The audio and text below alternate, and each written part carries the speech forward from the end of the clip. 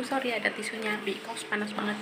Jumpa lagi bersama saya Yani Mukaroma oke teman-teman hari ini aku mau masak dengan empat bahan aja tapi hasilnya enak. Lihat ya teman-teman aku mau masak apa.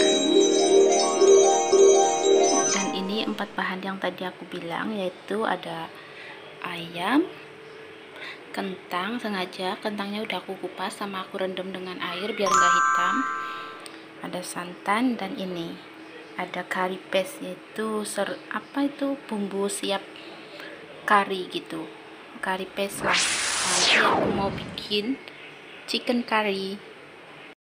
Oke teman-teman. Oke teman-teman nih. Ini tadi di dalamnya kayak gini bumbu curry paste nya dan nanti aku mau marinate ke ayamnya separuh bungkus aja. Tapi nanti aku mau gunakan semua bung satu bungkus bukan semua bungkus tapi satu bungkus sorry. Terus tapi aku mau marinate dulu ke sini separuh dari isi curry paste nya oke teman-teman kita marinate dulu separuh ya separuh aja dan isinya seperti ini di dalamnya paste tuh di dalam bungkusannya ini. Kita aduk dulu. Kita aduk rata dulu. Biar ayamnya semua bergaul dengan si bumbu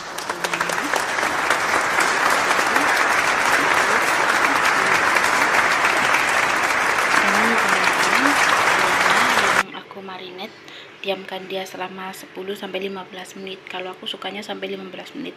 Karena dia sudah tercampur rata nanti bumbunya mau meresap ke ayamnya sebelum kita memasak. Oke teman-teman ini ayam yang udah aku marinate sudah 15 menit kemudian. Terus oh ya tadi aku juga lupa nggak ngasih tahu kalian kalau ayamnya aku gunakan 4 sayap ayam sama dua paha ayam. Tapi pahanya bukan yang hanya drumstick. What? jadi dua pahanya itu full. Jadi aku potong jadi empat. Terus sama empat ayam empat sayap ayam itu aku potong. Satu sayapnya aku potong jadi dua.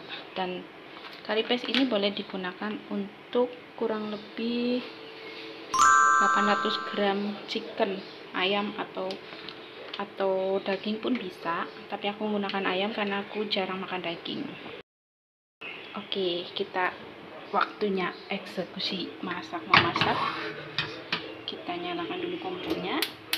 Pakai api yang kecil aja ya teman-teman. Dan jangan lupa juga yang separuh bumbunya ini karena aku sukanya atau lebih berasa gitu bumbu karinya aku masukin semuanya. Pakai api kecil dulu lepas itu ini bekas bungkusnya ini. Aku taruh air sedikit biar bumbunya juga nggak kan ya teman-teman hehe. Nanti aku masukin air terus masukin ke kualinya. Tapi ini aku masak dulu kurang lebih 2-5 menit.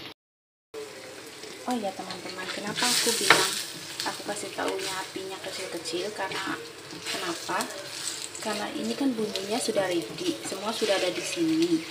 Jadi kalau kita pakai api yang kecil minyaknya itu keluar tuh. Bikin sedap sama wangi. Terus kalian juga nggak perlu nggak perlu ngasih penyedap rasa atau garam atau semuanya itu bumbu-bumbu lain. Nggak perlu cuma kasih santan nanti tapi ini kita pakai api kecil dulu selama 2-5 menit biar keluar dulu ini minyaknya yang dari bumbu siap saji ini. Dan ayamnya juga keluar minyak. Jadi nanti enak lebih cepat masuk. Biarpun kita pakai api kecil ya teman-teman. Oke teman-teman sudah kira-kira 15 5 menit bukan 15 menit terlalu lama ini minyaknya udah tuh dan wanginya harum dan tidak lupa juga ini yang tadi aku bilang bumbunya aku mau kocakin sama air. Dan nanti teman-teman saatnya kita masuknya masukin dulu sedikit-sedikit aja biar bumbunya meresap ke ayamnya. Oke ini setelah aku masukin air dan ayamnya sudah setidaknya terendam gitu. Ya tetap masih menggunakan api kecil ya teman-teman. Saatnya kita tutup biarkan dia mendidih. Terus bumbunya juga masuk ke dalam ayamnya. Kita tutup kita tutup dulu teman-teman. Ambil tutupnya dulu.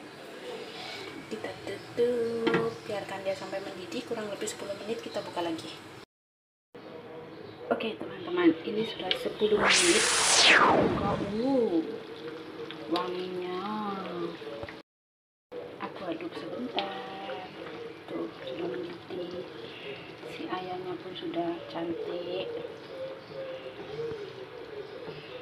What?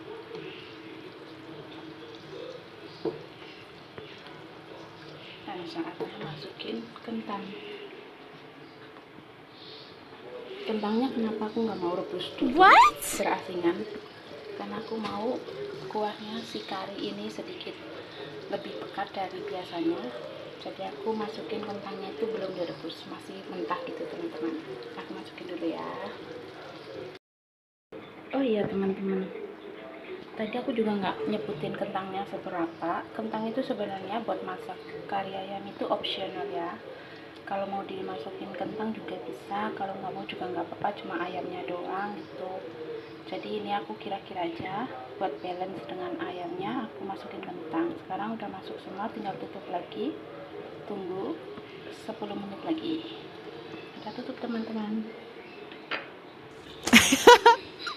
Tutup lagi dengan api kecil aja teman-teman. Oke ini sudah 10 menit selanjutnya. Dan kentangnya pun sudah sedikit setengah makan. Setengah setengah makan. Setengah matang. Aku lihat dulu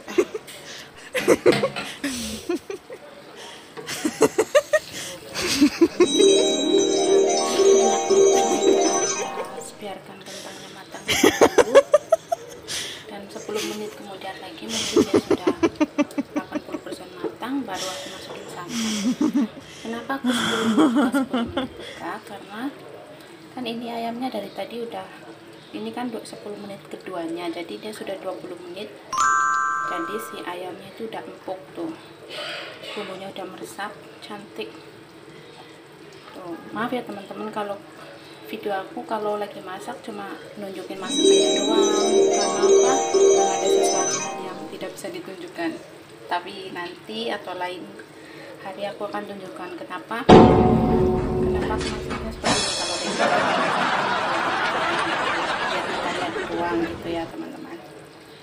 aku kasih tunjuk dah. Saya punya dapur di sini. Oke teman-teman biarkan dimasak lagi. Oke kita buka kita lihat lagi bagaimana dengan kondisinya si kari ayam sama kentang ini. Aku lihat dulu kayaknya si kentang sudah matang nih.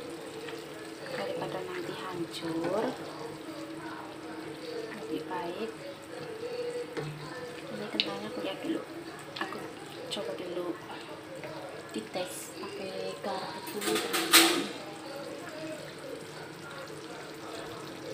Oh sudah matang teman-teman.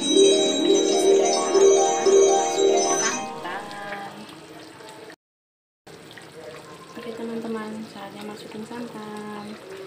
Oh iya teman-teman kalau sudah masukin santan usahakan jangan ditutup lagi ya kualinya nanti santannya pecah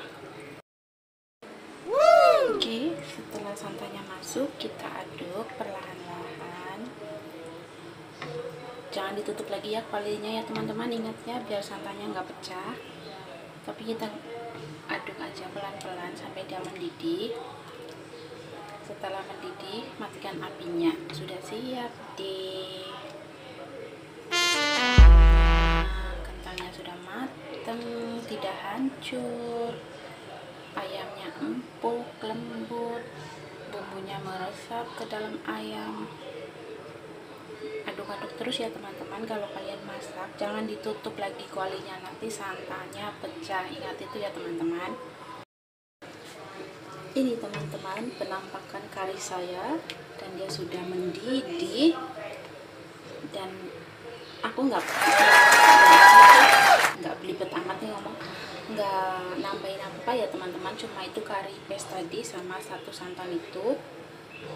Dan rasanya itu udah pas banget. Ada asin ada pedas gitu. Sedap pokoknya ini teman-teman. Saya suka sekali. Tunggu sedikit lama lama sedikit biar dia mendidihnya lebih lebih panas lagi baru dimatiin apinya teman-teman. Yeah cantik kan teman-teman tuh menggoda selera dimakan sama roti atau sama nasi pun sedap. Dan nenek aku sukanya pakai roti. Kalau aku makannya pakai nasi.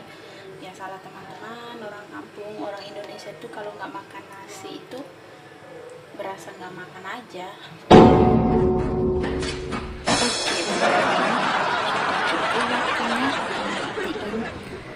Kompornya sudah. Uh cantik alhamdulillah. Oke teman-teman itulah karya aku yang hanya cuma empat bahan tapi hasilnya sempurna sedap. Jangan lupa ya teman-teman ikuti terus video-video aku dan jangan lupa like comment subscribe biar aku lebih semangat bikin videonya. Terima kasih teman-teman. Sampai jumpa di next video. Wassalamualaikum warahmatullahi wabarakatuh